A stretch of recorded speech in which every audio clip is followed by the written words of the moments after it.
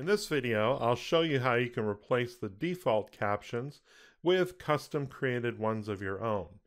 So I was taking a look at the Adobe eLearning community this morning and I saw this message here about custom feedback.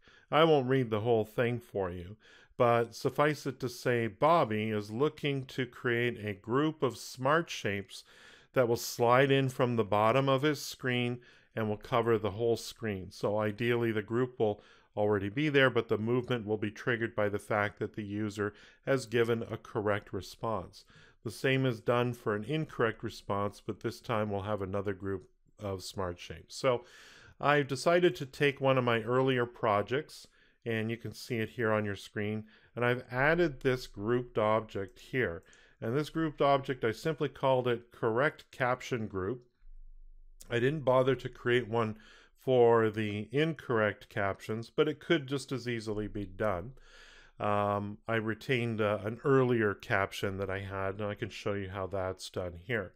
Now, this particular group, I've got it set up to be not visible in output. Uh, it consists of three different objects. There's this semi-transparent background, which fills the whole screen. There's this green box here, or green uh, square or rectangle, with the message correct, click the next button to proceed. And the third object is a smart shape being used as a button, and it's simply a next button with exactly what you would expect to find under the Actions tab. Simply go to next slide.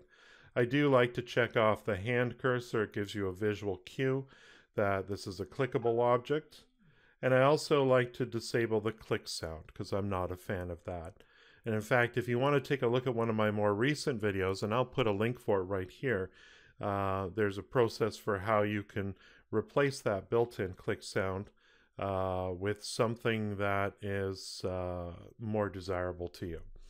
So to make it easy to work on this slide, I've created this smart shape here, and of course it's already set to be hidden, but you can actually, from your timeline, you can actually um, change its uh, its visibility to you in edit mode uh, just by checking off the little dot underneath the eyeball here and we'll just make that hidden from view so we can work on a few things.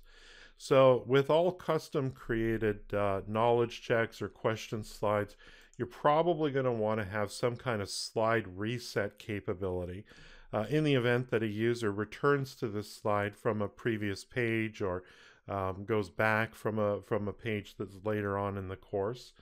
And uh, this becomes a little bit more complicated when you start getting into all sorts of things happening on the screen. Now this will vary a lot with uh, with different uh, uh situations that you've created or scenarios that you've created but basically all I wanted to do was go through this reset slide on entry advanced action to return everything to how it was when I created it. So the very first thing I do is I change the state of the feedback square and you can't see it here, but there's a, uh, a transparent box here that, that contains a series of, of multi-state objects that uh, contain all the feedback that I originally created. Of course, this this new style slide-in pop-up is, is an addition to this. Uh, so this will change the state back to normal, which is what we want to do. Uh, these four commands here will change the state of all four of these buttons back to normal because I do have a selected state which I use when a user clicks one of these. I want to enable answer 1, 2, 3, and 4 because in the process of submitting an answer, uh, it will, uh, a correct answer, it will disable these buttons so that a user can't click them again. Uh, that may not be required now that we have a correct caption that covers the whole thing, but sometimes I find it's good to cover all your bases because you never know what scenario someone might take to end up on this slide. I've added the uh, hide correct caption group uh, so that every time a user comes into this slide, again, it, it hides that uh, that group of correct answers. So I want to, or the the the group of uh, smart shapes and buttons, uh, so that they're not visible again. And we also want to assign the variables that I will be using to keep track of which answer has been selected back to a zero value. So, and again, this could vary depending on how you build your question slides, but uh, essentially I just want to reset everything back to the way it was when I first started designing this particular interaction. So from there I have uh, four possible buttons that can be pressed here, here, here, and here. And let me show you what happens when you click, for example, this first button here. Under the Actions tab, it's executing the advanced action called Action 1, which is simply the lines of code that we want to run every time someone chooses the first answer. It's really uh, fairly straightforward. Let me slide this over here so we can still see the button. So this is called action one. It's going to change the state of answer one to selected. Now selected uh, is changing the color of the button and changes the text of the button. So it's very clear that the user has clicked on this button and not clicked on the remaining three. If the user has previously clicked on one of the other three, this uh, advanced action will also change the state of answer 2, 3, and 4 back to normal. And it also assigns, uh, I've got four variables that keep track of which button has been selected. So it assigns answer 1, variable underscore answer 1, with a value of 1. And again, in, in case someone has selected something previously, it's going to reset variable answer 2, 3, and 4 back to their initial value of 0.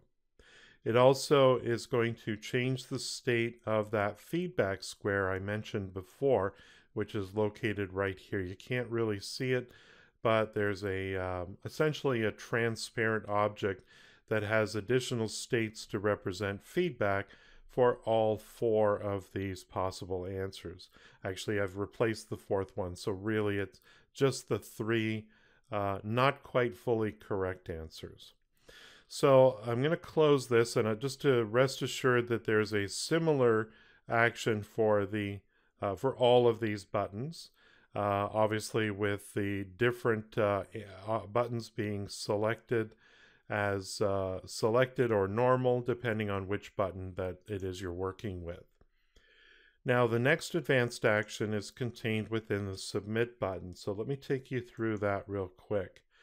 What I've done here is I've created a multiple decision advanced action. So in this case, I want to be able to display different feedback depending on which answer was selected. So the first one is going to be an incomplete. In other words, the user has not selected any of the answers. So it's 0, 0, 0, 0, and they've simply tried to hit submit to see what happens it's going to change the state of that feedback square to incomplete. And then, of course, it gives you the appropriate message.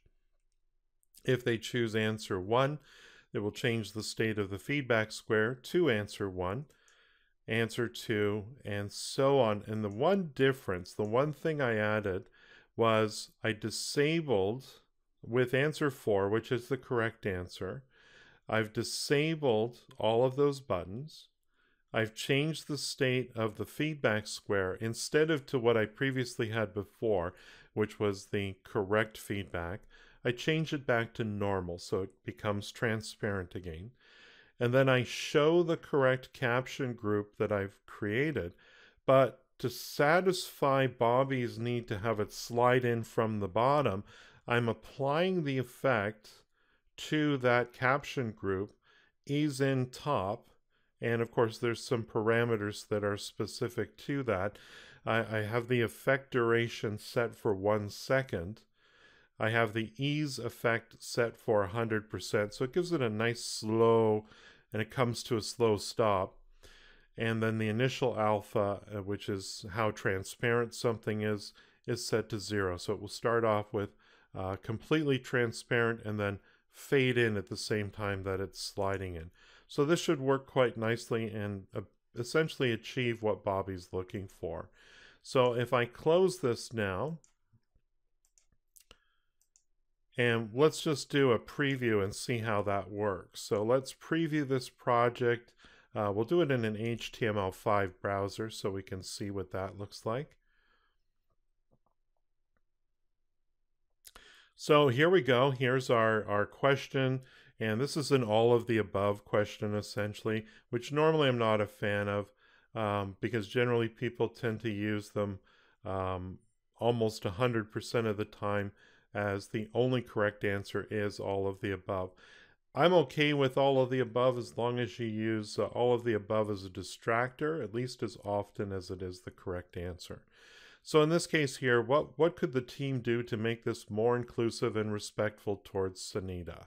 So I could select that, hit submit. So there it is changing my transparent box to some caption. And, you know, in this case, this is not a wrong answer, uh, but what we're saying here is that, you know, is there a better choice that you could make? So try again. And this is perfect for a knowledge check because there is no really right or wrong answers here. There's just that all of the above is probably the best choice. So again, when you click another answer, it returns that um, feedback square back to normal and we could try again. So again, once try again, uh, and that that's fine. Let's try the correct answer and see that effect in action. So I'm going to hit submit and now this fades in, the, it blocks the background so I can no longer click any other buttons. Correct, click next to proceed, and this brings me to the next page. Incidentally, if your user does make it back to this knowledge check, everything gets reset back to normal. There's no buttons selected, and obviously the feedback gets returned to not visible in output. If you thought this video was useful, please share it with your colleagues. If you need help building your next e-learning project, consider hiring me. My focus is to create effective learning that helps you achieve your business goals. Visit my website at paulwilsonlearning.com. Follow me on Twitter at paulwilsonld, and don't forget to subscribe to my YouTube channel.